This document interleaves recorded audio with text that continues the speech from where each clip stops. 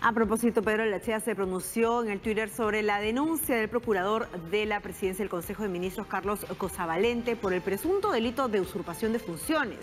Olechea dijo que no retrocederá en su compromiso de defender la Constitución y agregó que esta medida fue ordenada por el presidente Martín Vizcarra con el fin, dice él, de evitar que el Tribunal Constitucional se pronuncie sobre la demanda competencial.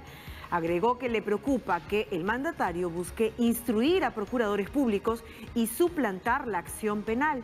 Por último, indica que es imprescindible la separación de poderes en el Perú.